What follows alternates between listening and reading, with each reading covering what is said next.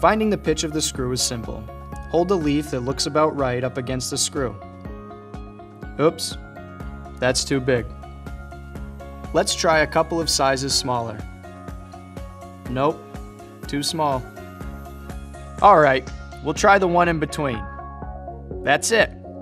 The screw has a pitch of 16 TPI.